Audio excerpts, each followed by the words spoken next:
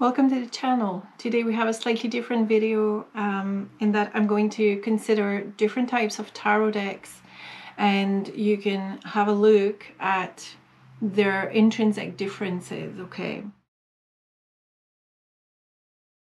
I've got an historical deck, I've got a very heavily themed deck, actually I've got two fairly heavily themed deck and then I have two very illustrative decks and then I have an ultra minimalist deck here okay. So what do these decks all have in common? They're all tarot they're all 78 sometimes 79 sometimes 81 cards. Uh, but essentially they are tarot. Some are Rider Waite based. So these uh, will be Rider Waite based this one to some extent is also Waite based. Uh, that has its own components.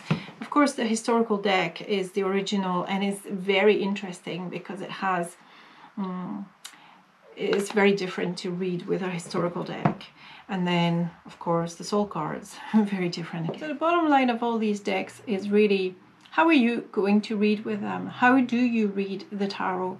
Do you learn it by rote or do you let images and colors and facial expressions and representations kind of steep in to your psyche and then just take it from there? That's how i read. Um, but I, I, did you know in the beginning um, 15 years ago i did try it by rote and it didn't work. Uh, so i would never write advice to uh, to go by rote. But rather uh, choose a deck that speaks to you. And some decks are going to be a lot easier than others to get into. So all the decks that depicts moments that trigger emotions like I think this deck does that um, triggering the triggering of emotions. Um, look at the two of swords very evocative some are less evocative for me, but they're kind of a moment in time. They're giving you a moment in time. This deck very much does that, I find. Um, it's telling you a story, a mini story captured. It's almost like a photo, like a, a capture photo. Um, often the pastels are going to be easy and really nice to read with, right? Because even the scary cards are not going to be uber scary. I'm trying to think.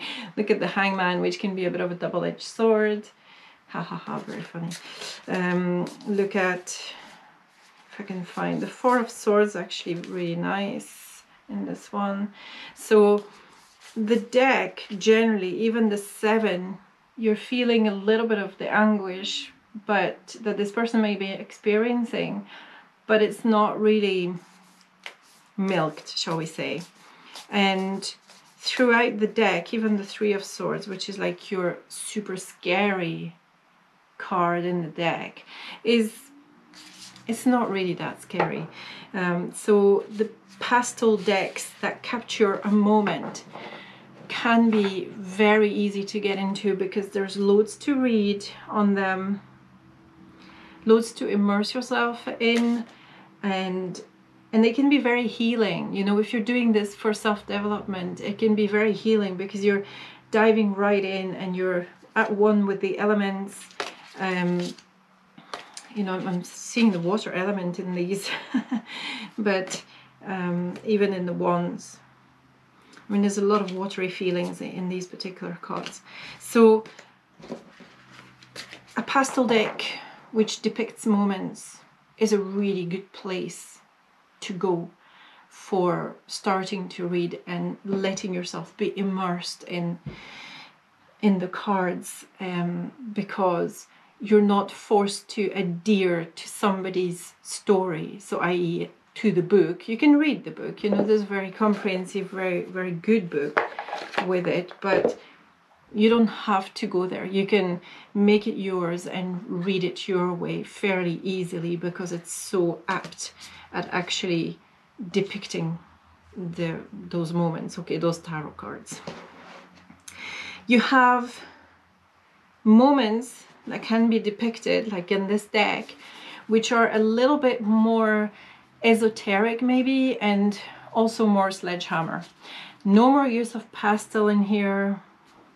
Well, maybe she, she also uses pastels, but this is no longer your beginner beginner deck because I mean you could buy it as a beginner deck there's nothing that says that you can't buy it as a beginner deck but look the the naming of the card is harder to pick up okay so you need to know your cards whereas here it's kind of spelled out for you all the way through you've got that border which spells it out for you whereas here you've got if it's a major arcana you've got that little infinity sign and then for each of the elements you've got circle you've got a cloud you've got a flame and I can't remember which represents the last one with yeah, just a wave for water, wavy water.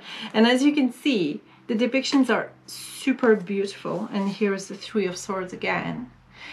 But I find them um, somehow somewhat more reflective. Okay, here's the Hangman again, and you don't have that playfulness in this deck. So it's a lot more introspective, a lot more soul searching, uh, this is Cilla Conway, by the way, the Shimmering Veil Tarot, which I absolutely adore. Um, this is the Wheel of Fortune. So there's the Ten of Swords. In a deck like this, you have less symbology maybe, but you have more introspection to do. This is also like a snapshot deck which gives you a moment in time and which is there to bring up particular feelings okay uh, particular reactions from you. This is the eight of swords. You know i'm showing swords because swords can be scary and for me a deck that depicts swords really well is a really good deck. The two of cups. Uh, i love strength the strength. So you need to know your majors as well because they're they're not titled, okay? And the kings have a little K, so you you have little little clues, okay? So if you want to, if you like the deck, you know, it's possible to to learn to read it as a beginner. Absolutely. I wouldn't I wouldn't freak out too much. Um, if you like the art, you know.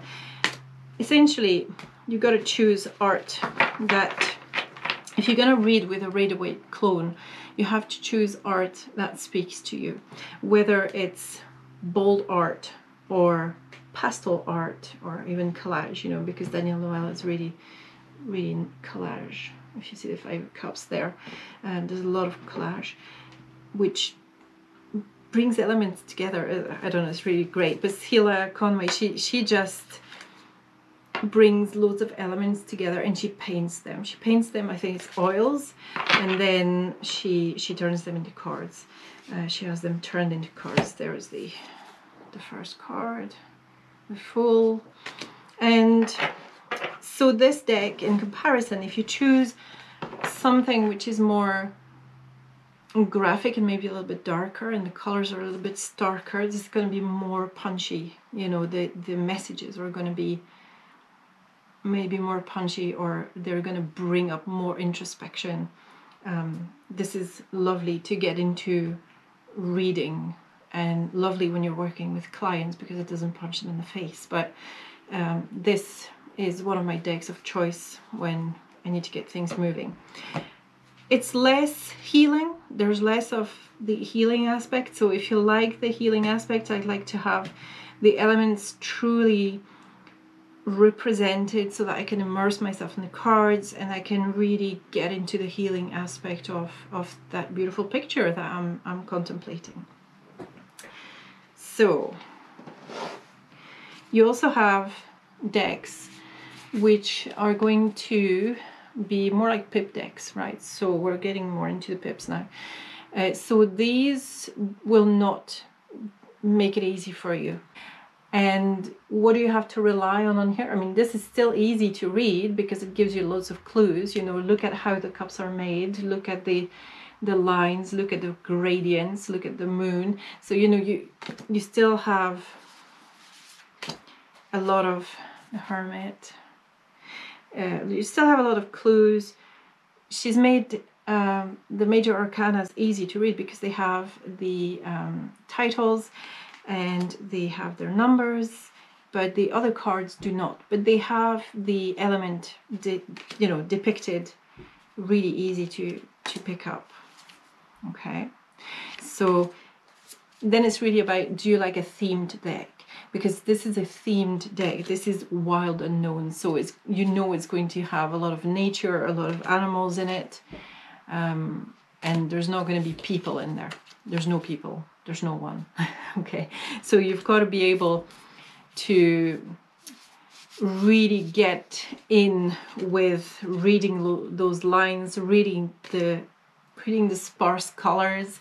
I mean i'm going to show you the nine of swords which is a pretty scary nine of swords. It's one of my least favorites because it doesn't really give you anywhere to go this okay. In a lot of other decks you have things, you know, clues that are hidden in the nine of um, of swords, whereas here there's there's really nothing. So when you work with a deck like that and you pick your nine of swords, you've got to remember that this is not, you know, this is not all that there is, and maybe there is that rain falling and taking all of that, waiting to take all of that away. So you've got to read absolutely all the clues that you've got on offer.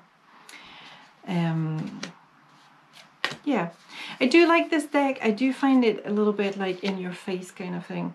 Uh, there are cards that speak to me loads, um, like the, the wheel. The wheel does speak to me enormously. Um, you have to read the lines, what she has chosen to express through the lines in this deck, because, you know, it makes for well, a more complete reading, really. So there's the devil. So rather than having a photo or a snapshot of a moment, you have a depiction which is there to just bring you to a character or hmm I guess a moment but it's not a picture kind of moment it's more I, just find it more brutal, okay, a little bit more brutal. Some of them depict almost more like, mm, you know, the uh, the moon in the forest, but by and large, it's not about depicting a scene, is what I'm saying, okay? If you see here, this is not about depicting a scene. So you've got to wonder how are you going to interact with this. It's it's harder to interact with decks like this for a lot of people. Um, with Kim Krans, I pay major attention to the amount of color that she has in the card, the amount of black, the amount of white, and and the lines, the lines, the lines, the lines, as well as of course the, the prime subject matter. So you know you have a rainbow here, you have um, a butterfly there. So the, these are all really major elements, of course. the the kind of jump out of the card at you but it's you know very different okay can you immerse yourself in this one as well as you can in this one? I don't know. You're gonna have to make to make that call but be be prepared. When you're uh, experimenting with reading tarot be prepared to have moments where you're stuck and you just don't know how this relates to family and you know that happiness of having established your line until you realize that these are seeds and then it becomes really easy. That's just an example. Okay the fourth deck is also a themed deck. This is uh, the cleopatra tarot and if you can read this is something that i'm reading. Uh, it's worth separating in a, in a theme deck like this. It's worth separating the major and the minor arcana because the minors are not going to speak to you very much unless you are very up on your gods of Egypt and your astrology. This is essentially what it's about. Um, because it's all all the depictions are taken from the Dendera zodiac uh, at the Dendera temple, and what well, actually is held in Paris. But um, so you know, does this speak to you? This is the Ace of Cups. What does it say to you? Do you find it easy to immerse yourself or not?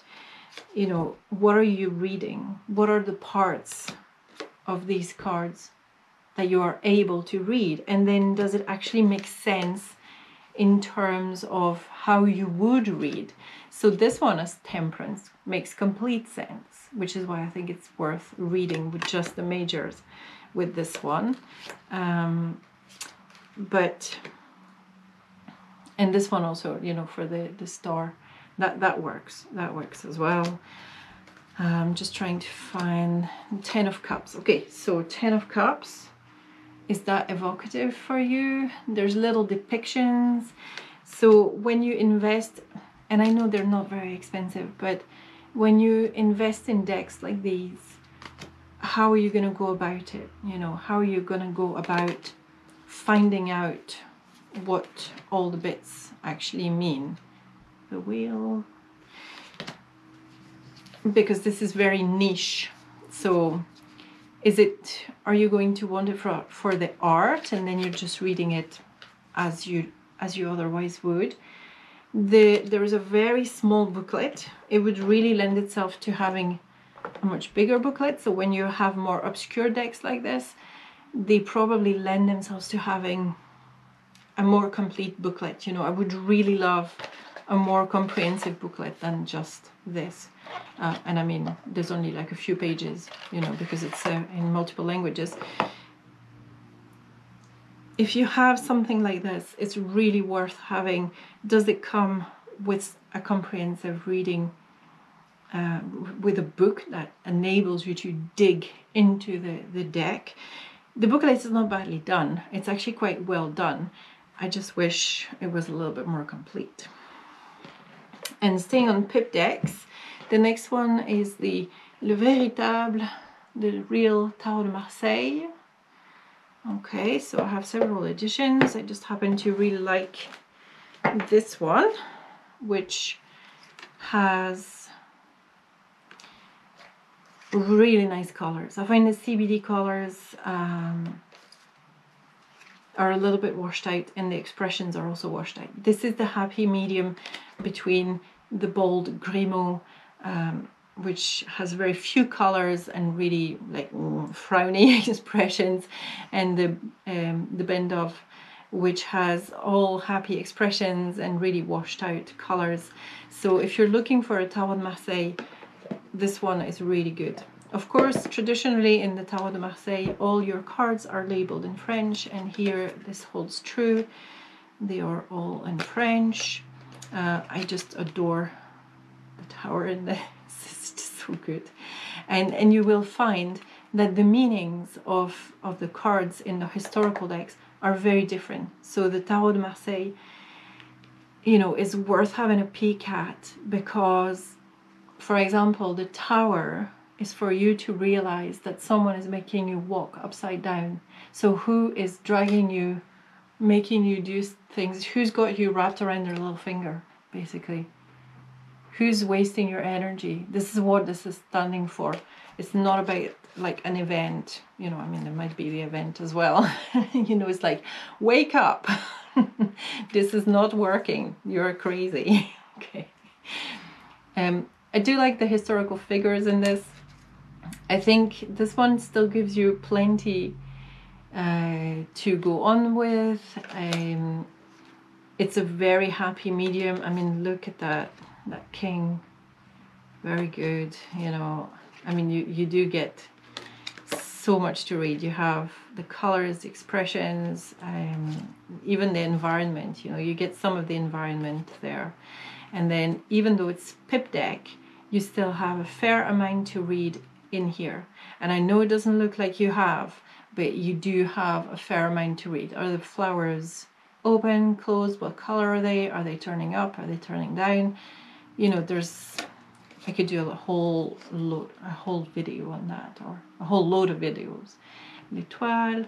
So they still depict a scene. Waite Smith deck inspired itself from this uh, this Marseille tarot, and I'm to show you the stuffs, and and it kind of changed it. It made it more depictions. So it took these, the majors, and it applied that to all the minors. And the way that the Rider Waite Smith is read is not traditional in the way that they made up a lot of it. Okay, they just made up a lot of it. And so you're going to have to make an educated decision as to how you want to read. And also to know that it's not bad to make it up your way, okay? Because they, it's been done before. That's kind of the process of tarot. Observe how the cards are coming out for you and what you know what they're expressing you know do a journal do you know like daily journals for years and then you will know what the cards represent for you. So i really like the marseille. I find it very evocative. There's loads to read. There's colors. There's orientation. So in a way not a million miles away from this okay? But I still find that there is actually more to read in the Marseille than there is in Kim, Kim Krans in The Wild Unknown. Very, very personal thing. Um, so if you look at justice, don't just stop at the first thing that you see. What else do you see behind it? And you will notice many things. So uh, I could talk about the Justice card until tomorrow, so I better move on though. Um, very interesting to work with those pip decks, those pip Marseille decks. Very, very interesting because you're sort of familiar with them, but they don't take it all the way to full depictions uh, like this, okay? They, they're more subdued, I guess. And then finally to a totally minimalist tarot. How do you read super minimalist tarot?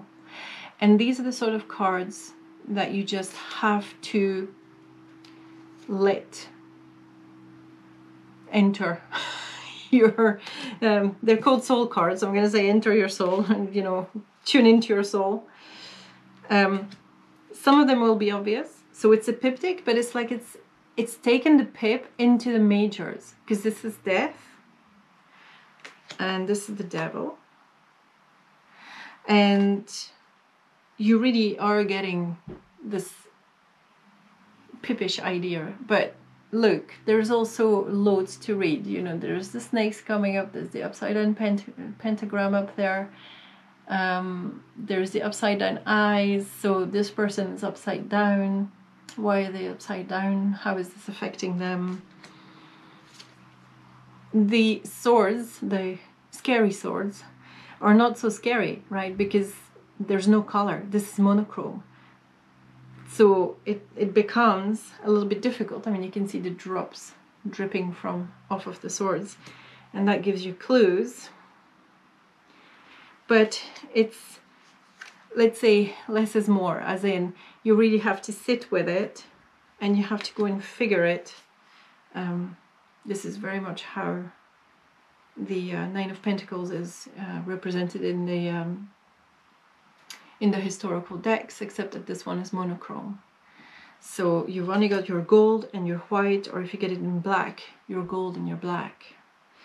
Um, they come in four different backgrounds. So the way that I sit with these is very much I sit with them. And then I observe them. And I observe the play between them, if there is a progression between them. Um, I can't really do like a picture postcard with them, but I love them for their simplicity. And then generally, I find that if there is clarifications for me to be had, uh, if I work with an oracle deck or two, the clarifications are just so obvious and I will do some sample readings with the oracle cards and with this deck at some point um, because it's it's a really worthwhile way to read you know it gives you such a complete picture. And you can see that they're giving you loads. They're not just leaving you hanging but very very simple. So you really have to forget the blah blah blah. That they also don't come with a book. There is a book available online but they don't come with a book in the box. So it really is about immersing yourself and seeing well what is the progression you know? So um, today for me the progression was from being very much in my head um, very much needing a rest and then it was progressing to the fire element okay? So it goes from the air element into the fire element and that was just really obvious just reading the cards and the fire element was the overwhelming element because that was a major so then it's also about gradation of you know a minor is not as important or will not have as much of an impact say a, a, a three of swords will not have as much as a, of an impact as a as the sun for example as a major so these are the kind of things that you need to organize in your head when you're reading with super minimalist deck. So that being said, I love all these decks. I love pondering on them. I love just soul searching with them and I love just having a, a moment of introspection with them. And depending on how you feel, it's worth having two or three very different decks just to kind of make you react in very different ways. So I'm going to stop it there. Let me know what you think in the comments below. Like and subscribe, that always helps. And I will see you soon.